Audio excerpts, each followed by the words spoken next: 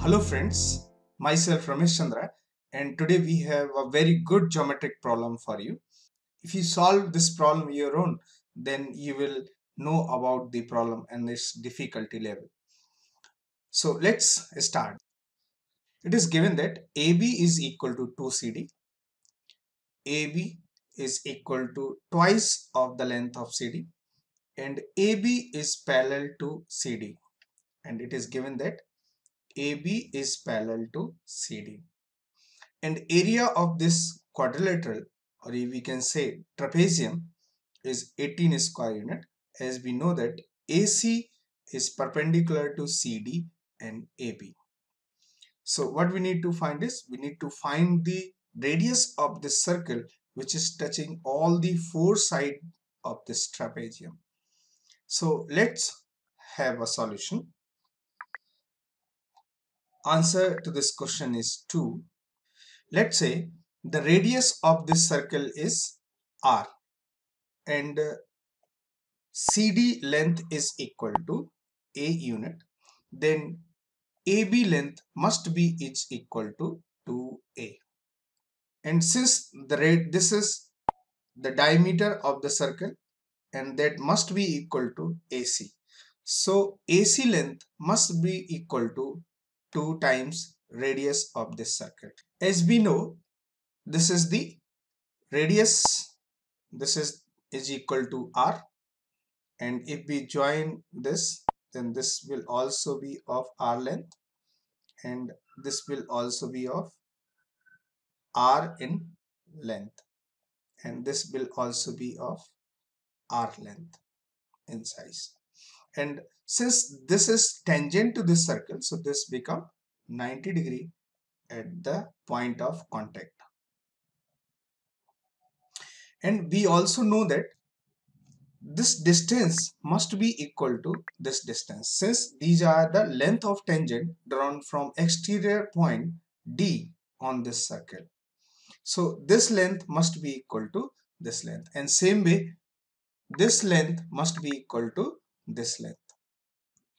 Since this is equal to r, radius r, and the whole length is equal to 2a, and this is equal to r, so the length, this length become 2a minus r. Similarly, this length will also of length 2a minus r these length must be equal. Now we also know that this length is equal to radius of this circle and the CD length is A. So this length must be equal to A minus R. Hence this length will also be A minus R.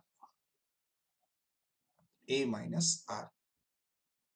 You can observe this triangle this is a right angle triangle and this length is 3a minus 2r and since this whole length is a unit so from here to here this will be of a unit. Why it is so? Since this is of a unit in length and AB is twice of CD we draw this parallel to AC. So these length must be same and CD must be equal to this length. Hence this will remain equal to A. Now the constructed line this must be equal to 2R and this become a right angle triangle. So you can observe a right angle triangle as shown here. So Pythagoras theorem will apply at this moment. So you can have Pythagoras theorem as a square plus 2r whole square is equal to 2a minus r and a minus r that is 3a minus 2r 3a minus 2r whole square a square plus 2r whole square is equal to 3a minus 2r whole square.